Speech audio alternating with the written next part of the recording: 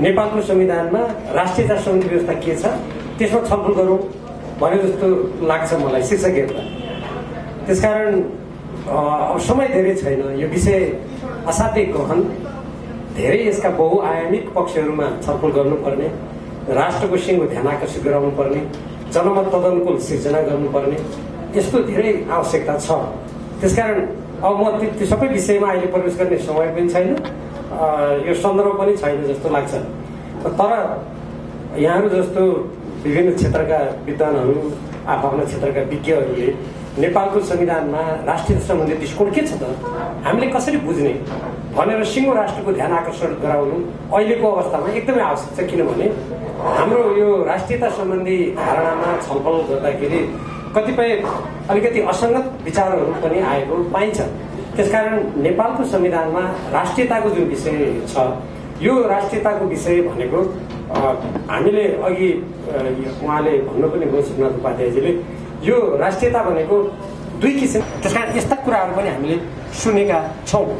त्यसैले नेपालको संविधानमा हामीले जुन राष्ट्रियताको कुरा गरेका छौँ देशभक्तिको कुरा गरेका छौँ जसलाई हामीले देशका प्रमुख राजनीतिक दलहरूले त्यसलाई स्वीकार गरेका छौँ नि। प्रमुख दलहरूले स्वीकार गरेर अब नेपालको संविधानमा हामीले त्यसलाई अभिलिखित गरेका छौँ र त्यसलाई अङ्गीकार गरेर त्यही अनुसार अगाडि बढ्ने हामीले सङ्कल्प गरेका छौँ। त्यसकारण अहिले सिके राउतले भने जस्तो अब मैले सानो के पोथी पात्रो पोथी भनेर त्यसको नाउँ दिएर सानो पुस्तिका निकालेर रहेछ। मैले पढेँ कस्तो? यस्तो अन्याय यस्तो अत्याचार भएको छ अब छुट्टै देश चाहियो। राष्ट्रिय गान बेग्लै चाहियो झन्डा बेग्लै। यस्तो खालको स्थिति भइराखेको बेलामा हाम्रो देशभक्ति के हो भन्ने कुराको छलफल अत्यन्त आवश्यक छ। र प्रत्येक नेपालीहरूले जसले यो देशको अखण्डता यसको स्वाधीनता स्वतन्त्रता यसको स्वाभिमान र समृद्धिको आकाङ्क्षा राखेका छन् उनीहरूले देशभक्तिलाई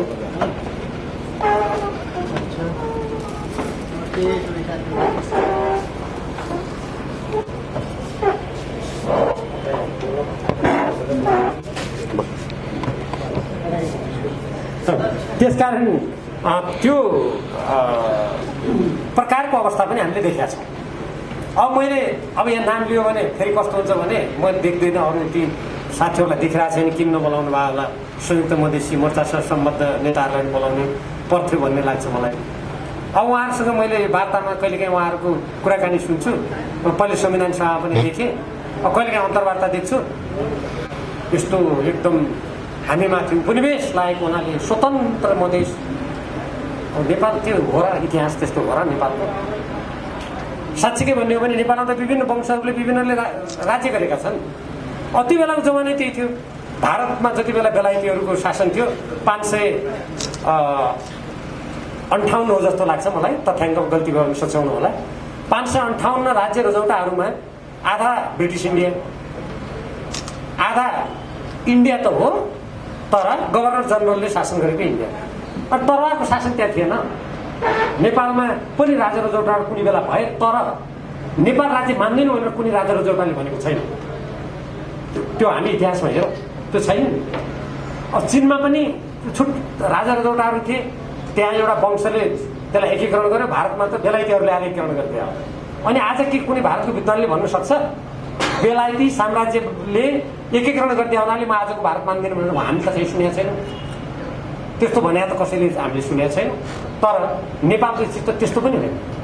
त्यसकारण अघि यहाँ एउटा प्रसङ्ग आएको छ मैले त्यसलाई समर्थन गर्छु। देशभक्ति छुट्टा छुट्टीमा व्याख्या हुँदैन। उग्र राष्ट्रवाद भन्ने जुन कतिपय मान्छेले भन्छन् वा सङ्कीर्ण राष्ट्रवाद भन्छन् त्यो त्यो राष्ट्रवादै होइन। अर्काको अर्कालाई घृणा गर्ने कुरामा आधारित त्यो राष्ट्रवाद नै होइन। त्यो त्यो त एउटा साम्प्रदायिक भाव हो। अब जो साथीहरूले तराई मधेसमा अर्को कुनै राजनीतिक दलले कार्यक्रमै गर्नु हुँदैन भन्ने धारणा राख्नुहुन्छ वा एउटा जाति समुदाय अर्को जातिसँग मिल्नु हुँदैन भन्नुहुन्छ त्यो कुनै देशभक्ति हुन सक्दैन। हामीले भन्यो भने पनि त्यो हुँदैन। मैले भारतको विरोध एकदमै निरपेक्ष रूपमा गर्ने हो भने त्यो मेरो देशभक्ति भयो हामीले त्यो गरेका कमसेकम म आफू आफ्नो बारेमा के भन्न सक्छु भने हाम्रो देशभक्ति कुनै देशप्रतिको विदेशमा आधारित हुनु हुँदैन। त्यो छैन। हामीले हाम्रो देशको संविधान आफै बनाउँछौँ। हाम्रो देशको व्यवस्थापिका संसदमा कसलाई प्रधानमन्त्री बनाउँछ आफै गर्छौँ। हाम्रो संविधानको धारामा हामी के लेख्छौँ? हाम्रो कर्मचारीहरूलाई तिमीलाई प्रमोसन गर्न प्रमोसन खान मन छ कि छैन भने कृपया फोन नगर्नुहोस्। म त त्यो मसौदा समितिमा भावनाले त्यो पीडा भोगे हुनाले म भन्दैछु। कुनै एउटा अमुक देशको राजदूतावासले फोन गरेर तिमीलाई जागिर खान मन छ कि छैन त्यहाँ किन नेताहरूले भन्यो भनेको कुरा तिमीले टाइप गरेको? भन्न मिल्छ त। अनि त्यो नभन्नु भन्दाखेरि उग्र राष्ट्रवाद हुन्छ त्यो। हाम्रो संविधानको धारामा हामी के लेख्छौँ भन्ने कुरा हामीलाई लेख्न दिनुहोस् न। गल्ती भए पनि सोचौँला नि त एउटा समयक्रममा। हामीले त्यो भनेका हौँ। अनि हाम्रो चाहिँ देशमा हामीले संविधान ल्याइसकेपछि हामीलाई नाकाबन्दी किन? सात दशमलव आठ रेक्टरको भुइँचालोबाट रोइरहेका नानीहरू चिच्याइरहेका आमा बाबुहरूको क्रन्दनलाई आगोमा घिउ थपे जस्तो गरेर हाम्रा ग्यासका चुलो बन्द नगर्नुहोस् भन्दा उग्र राष्ट्रवाद हुन्छ? अनि राष्ट्रवाद भने के त? त्यसो भए हाम्रो संविधान आफै लेख्नु दिनुहोस् हाम्रो शासन आफै चलाउनु दिनुहोस् हाम्रा एआइजी र डिआइजीहरू कहाँ सरुवा हुन्छन्? त्यो तपाईँहरूले टाउकोमा दुखाउनुहोस् आफ्नै देशका एआइजीलाई सरुवा गर्नुहोस्। म यो चिन भारत अमेरिका जसलाई पनि भन्छु यो देशभक्तिको कुरा गर्दा यो कुनै भारत विरोध अमेरिका विरोध युरोपियन विरोध यो केही पनि होइन। यदि यहाँहरू कसैले त्यसैले बुझ्नु भएको छ भने त्यसलाई करेक्सन गर्नु धेरै बुद्धिमानी हुन्छ जस्तो मलाई लाग्छ। त्यो केही पनि होइन। हामीले भनेको के हो भने हाम्रो संविधानमा स्पष्ट हामीले लेखेका छौँ। संयुक्त राष्ट्रसङ्घको बडापत्र अन्तर्राष्ट्रिय कानुन पञ्चशीलका सिद्धान्त अनुसार हाम्रो अन्तर्राष्ट्रिय सम्बन्ध चल्नेछ सबै देशले हामीलाई राज्यहरूको सार्वभौम समानताको आधारमा हामी सम्बन्ध गर्नेछौँ भनेर हामीले लेखेको संविधानमा। अनि हामीले त्यो कुरा गर्दा उग्र राष्ट्रवाद भनेपछि रा देशभक्ति भनेको के हो? त्यसो देशभक्ति भनेको जुन देशले चाहिँ तेरो संविधानमा लेख भने हस् हजुर। तिमीले सरकार परिवर्तन गर्छ जो आज्ञा। तिमी संविधानको धारा यस्तो लेख त्यहाँ कर्मचारी त्यो नेपालका राजनीतिक दलले भने होइन हामीले भने अनुसार टाइप गर हस् हजुर। अनि त्यो देशभक्ति हुन्छ। त्यसको मात्र विरोध गरे। त्यो अमेरिकाले त्यस्तो गर्यो भने विरोध गर्नुपर्छ चिनले भन्यो भने पनि विरोध गर्नुपर्छ भारतले भन्यो भने विरोध गर्नुपर्छ। यहाँ कतिपय मान्छेलाई के छ भने नेपालमा त्यसमा त्यो कुरा भारत विरोधी मात्रै एकदमै भयो मैले त म व्यक्तिगत रूपमा यहाँसँग एउटा सानो सेयर गरेर सिकाउनु पनि चाहन्छु। लामो बोल्ने समय छैन। मसँग यस्तो अब अनुभवहरूका केही यस्ता उदाहरणहरू पनि छन्। त्यो अब कतिपय इतिहासमा समय नआइ भन्नु हुँदैन। कतिपय अलिकति भन्न मिल्छ। म भारत पनि गएँ चिन पनि गएँ। त्यो दुइटै देशका गृहमन्त्रीसँग मैले भेटेँ। उदाहरणको लागि अब म विश्वविद्यालय अगाडि देखिरहेको छु। उहाँ यो कानुनी सहायता सम्बन्धी सन्धि र एक्सट्राडिसनको बेलामा उहाँले बोलेको मैले सुनेको। अब भारतको गृहमन्त्रीसँग कुराकानी गर्दा उहाँले के भन्नुभयो भने एकजना सहसचिवसँग सँगै राखेर मैले कुरा गरेको थिएँ। त्यहाँको परराष्ट्र सचिव र गृह सचिव दुवैजनाको उपस्थित थियो। अनि ल यो सुपुर्दगी सन्धि गर्नु पऱ्यो कानुन सहायता सम्बन्धी सन्धि गर्नु पऱ्यो भनेर त्यहाँको गृहमन्त्रीले भन्नु मैले भने हामी तयार छौँ। म अहिले सही गर्न तयार छु। तर महामहिम यसमा दुईवटा कुरा सोच्यौँ मिल्दैन भनेर के भन्नु अनि यो कानुनी सहायता सम्बन्धी सम्झौता गर्दा एक देशको वकिलले अर्का देशको अदालतमा गएर बहस गर्नुपर्ने किन? महामहिम यो मैले बुझिनँ। यो हटाउँ एउटा दोस्रो तेस्रो मुलुकको कुनै अपराधीले नेपालमा तेस्रो मुलुकको कुनै नागरिकले यहाँ अपराध गर्यो भने अनि त्यसले त नेपाली धरतीमा अपराध गरे हुन्छ नेपालको कानुन लाग्छ महामहिम त्यसलाई सुपुर्दगी अर्को देशमा गर्नुपर्ने किन? भनेपछि उहाँले फ्याट्ट के भन्नुभयो भने मैले त्यो एक देशको वकिलले अर्को देशमा जानु भन्ने लेखेको छ र त्यहाँ भन्नुभयो। मैले भने यस देयर इज मसौदा चाहियो कि महामहिम दिउँ कि भने। अनि उहाँले पुलुक आफ्नो दुईतिर सचिवले हेर्नुभयो अनि प्रसङ्गै सिक्नु अब यो उग्र राष्ट्रवाद हो कि यो के हो? मैले भने यहाँहरूले के हेर्नुहुन्छ त यो उग्र राष्ट्रवाद हो र यो त त्यस कारणले गर्दा नेपालको हितमा आधारित हुनु पर्यो देशभक्ति कुनै देशको घृणामा आधारित होइन। हामी त्यसमा विश्वास गर्दैन चिन वा भारत अमेरिकाको विरोधमा द्वेषमा या उनीहरूप्रतिको विद्वेष राखेर उनीहरूप्रतिको घृणामा आधारित देशभक्ति होइन। हामीले चाहेन। त्यो चाहनु हुँदैन। तर नेपालीहरूले नेपालको हितमा अब हाम्रो युरेनियम खानिन्छ मुस्ताङमा। अनि त्यहाँ विभिन्न देशका राजदूतहरू यहाँहरूले सुन्नुभयो होला पत्रिकामा। महिना महिनामा त्यहीँ कुद्ने। अनि माथितिर त्यो किनाथाङमा लोमाथाङमा जानेर के भन्यो भने तपाईँहरूलाई धारो कता बनाइदिउँ? राजदूतले गएर भन्ने कहाँ धारो बनाइदिउँ? त्यो धारो होइन। त्यहाँको चाहिँ युरेनियमले तानेको? न धारो त्यो त्यो त्यो मुस्ताङमै धारो बनाउनु राजदूत किन कुद्नुपर्ने? त्यो त अन्त बनायो नि नि। हो हामीले भने यस्तो नगरौँ। हाम्रो देशको साधन स्रोत नेपालीको हितमा प्रयोग गर्न पाऊँ। हामी नेपालीले आफ्नो राजनीति आफै गर्न पाऊँ। तपाईँहरू एकदम राम्रो हाम्रो छिमेकी हुनुहुन्छ। कोसीमा बाढी आयो। एउटा कार्यालय खुल्यो सम्पर्क कार्यालय। परराष्ट्र मन्त्रालयले चिठी लेख्दाखेरि पनि नहटाउने। त्यो के के राष्ट्र देशभक्ति हो त्यो? उग्र देशभक्ति हो कि? त्यो अन्तर्राष्ट्रिय कानुनमा आधारित देशभक्ति हो कि? के देशभक्ति हो त्यो? नारायण काजीले पब्लिकली भन्नुभएको छ नारायण काजीले। मैले परराष्ट्र मन्त्री भएर चिठी लेख्दा पनि भारतले त्यहाँको चाहिँ सम्पर्क कार्यालय हटाएन जो बारडी आउनेका बेलाका लागि मात्रै भनेको थियो। किन राखे भनेको छ?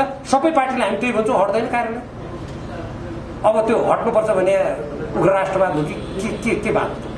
मलाई लाग्छ त्यो देशभक्ति त्यस कारणले गर्दा अहिले जुन संविधानको प्रसङ्गमा मलाई धेरै समयको नभए हुनाले मैले अरू प्रसङ्गमा म जान चाहिनँ हाम्रो श्रद्धेय पार्टी अध्यक्ष पूर्व प्रधानज्यू आइसक्नु भएको छ। मैले धेरै नबोल्नु होला। तर जे होस् यो संविधानको प्रसङ्गमा हाम्रो राष्ट्रियता के हो भन्ने बारेमा यहाँ कुनै पनि वक्ताले संविधानको धारा उल्लेख गर्नुभयो। म कृपया माफ गर्नु होला मैले यो टिप्पणी गरेकोमा। संविधानको धारा पढेर नेपाली जनतालाई यहाँहरू जस्तो बुद्धिजीवीले भनिदिनुहोस् कृपया। म समय भएदेखि अहिले मैले सबै धारा यहाँ पढाएको थिएँ म पढाउँथेँ म यहाँ उल्लेख गर्थेँ समय नै छैन। मसँग त्यस कारण किन नभन्ने? किन देशभक्तिको कुरामा अनि त्यहाँ संविधान बनाउँदाखेरि चाहिँ राष्ट्रिय सार्वभौमसत्ता स्वतन्त्रता अखण्डता हाम्रो स्वाभिमान भनेर सही गर्ने? अनि चाहिँ अरू देशसँग संयुक्त वक्तव्य निकाल्दा त्यो कुरालाई बिर्सेर संयुक्त वक्तव्यमा हस्ताक्षर गर्न मिल्छ? यो मैले आलोचना गरेको होइन। यो यथार्थ तितो यथार्थ तितेपाती जस्तो छ। यो चाहिँ।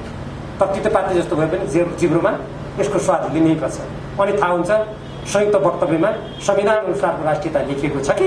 त्यसको विपरीत छ। यो मैले कुनै पार्टीप्रति लक्षित गरे होइन। एउटा देशको नागरिक भएर म यो कुरा बोल्दैछु। यो कुरा यसरी बोल्दा यो मलाई लाग्छ उग्र हुँदैन। बरु के हुन्छ भन्दाखेरि देशको विखण्डनको कुरा गर्ने सामाजिक सद्भावको बिथोले जुन संविधान विपरीत छ संविधानमा लेखेका छौँ राष्ट्रिय एकता। सबै नेपाली जनताले मिल्ने भनेको छ। एक सय पच्चिस जाति समुदायको एउटै लय एउटै स्वर एउटै चिन्तन त हुँदैन नि। त्यहाँ अलिकति विभेद हुन्छ तर त्यसलाई जुन डक्टर केसीले अघि उल्लेख गर्नुभएको छ उहाँको त्यो पेपरमा मैले यसो विस्तृत अहिले म टिप्पणी गर्न सक्दिनँ।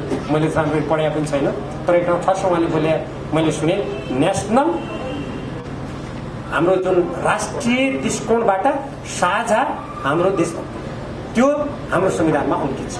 त्यो कुरा मान्नुपर्छ दलले मेरो जोड त्यहाँ छ। निर्वाचन लोकतन्त्रको अभ्यास यो संविधानमा लेखिया छ। अब त्यसमा चाहिँ वर्तमान प्रधानमन्त्रीजीले भन्नुभयो जस्तो अब मैले फास्ट अलिकति भनेर सिध्याउँछु यसमा स्वामित्व थारू आदिवासी दलित जनजातिको स्वामित्व बढाउने उहाँ पब्लिकली बोल्नुहुन्छ। मलाई धेरै दुःख लाग्छ क्या। तराई मधेसका एक सय तिस सदस्यहरूमध्ये एकानब्बेजनाले सही गरे। उहाँहरूको स्वामित्व हुँदैन एकानब्बेजनाको एघारजना मुस्लिम मध्ये नौजनाले सही गरेका छ। स्वामित्व हुँदैन। बत्तिसजना थारू मध्ये तेइसजनाले सही गरेको छ।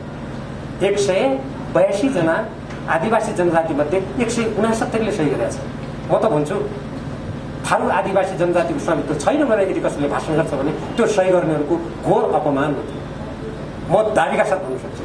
अनि के होइन त उनीहरूले सही गरेका त्यो होइन? महिलाहरू एक सय सतहत्तरजनाले सही गरेको होइन त्यो त्यो। अनि के भने अनि हो ठिक हो। अरू असन्तुष्टहरूलाई पनि म सन्तुष्ट गराउँछु भनेको कुरा मान्न सकिन्छ। एउटा नेताले भन्नु पनि पर्छ म पनि त्यो भन्छु। मैले पनि संयोजक हैसियतले वार्ता गरेका थिएँ। मध्य संयुक्त मधेस मोर्चाका नेताहरूसँग सहमतिमा आउनुहोस् चुनावमा जाउँ जनताको मतबाट तपाईँहरू तराई मधेसमा हामी एक छत्र त्यहाँका लोकप्रिय भन्नुहुन्छ भने परीक्षण गर्नु चुनावबाट। अनि एउटा शान्तिपूर्ण कार्यक्रममा चाहिँ पेट्रोल पम्प हानेपछि अनि त्यो दाबी सत्य हो भनेर कसरी मान्न सकिन्छ? एकाडेमिकल्ली पनि कसरी मान्न सकिन्छ? राजनीतिलाई छोडिदिन्छ। त्यस कारणले गर्दा अहिलेको नेपालको सन्दर्भमा हाम्रो देशभक्ति भनेको भारत विरोधी होइन चिन विरोधी पनि होइन अमेरिका युरोपियन कुनै विरोधी होइन यो नेपालको हितमा हुनुपर्छ र जसलाई संविधानमा अङ्कित गरिएको छ। त्यसलाई पछ्याउनुपर्छ। यदि कुनै पनि इमान्दार नेता पार्टी हो भने संविधानमा लेखिएको कुरालाई त्यसलाई पछ्याउनुपर्छ। नेकपा एमालेको एउटा सदस्यको हैसियतले मैले त पछ्याएको थिएँ अब त्यो संविधानको कुरा पछ्याउँदा उग्र राष्ट्रवाद हुन्छ भने चिन्ता छैन। लपसार पर्नुभन्दा संविधानको देशभक्ति मान्नु यो धेरै बुद्धिमानी जस्तो लाग्छ। धन्यवाद छ मान्य भीमरावजीलाई धेरै धेरै धन्यवाद छ सर्वप्रथम हाम्रो निमन्त्रणलाई स्वीकार